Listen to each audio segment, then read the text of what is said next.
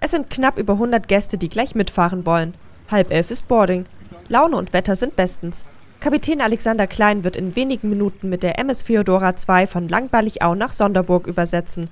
Doch es ist nicht irgendeine Fahrt. Seit dem Ende der traditionellen Butterschifffahrten 1999 wird es nach Jahren wieder eine Fährverbindung zwischen Deutschland und Dänemark geben.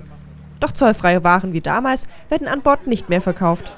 Insofern hat diese Fahrt jetzt nach Dänemark reinen Ausflugscharakter. Das heißt, wir sind eine Fähre für Personen, aber auch für Fahrräder, die mitgenommen werden können. Wer einen Ausflug machen möchte oder den Gendarms den abradeln möchte, der kann uns äh, eben auch nutzen, um hinüberzukommen. Doch ein bisschen getrübt ist die Freude über den erneuten Fähranlauf. Um die 150.000 Euro musste Alexander Klein investieren, um die geforderten Sicherheitsvorkehrungen einzuhalten. Man hat ja sehr viele Auflagen, man muss sehr viele Vorschriften bedenken, die man äh, erst wieder mit Leben füllen muss.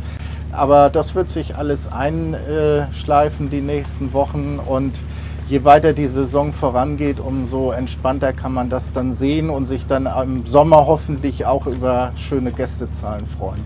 Einen Tagesausflug zu den dänischen Nachbarn. Zweimal in der Woche, immer mittwochs und donnerstags wird die MS Feodora ab jetzt fahren. Ein bisschen über die Förde schippern und dann rein in die Stadt, nach Sonderburg. Schloss mal besuchen oder so und, und dann durch die Stadt bummeln. Also einfach Wellness, Urlaub, Entschleunigung. die Gäste haben nach der Überfahrt dann jeweils drei Stunden Landgang. Für alle, die gern etwas mehr Zeit in Sonderburg verbringen möchten, für die wird es im Juli und August zusätzlich noch den langen Freitag geben.